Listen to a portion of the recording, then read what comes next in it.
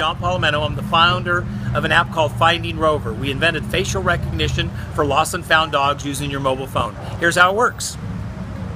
So let's say that we found this little guy, so we want to report him found. So all we do is we go to take a picture of him, we hit the bark button, and we take a picture of him.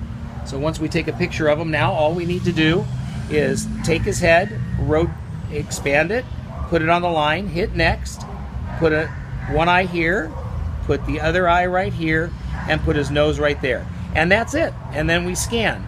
And that's all you need to do. So if this dog has been reported found or lost, excuse me, been reported lost, our facial recognition will do the match by matching the two pictures and uh, let you know who lost the animal so you can call them and uh, return this little guy home.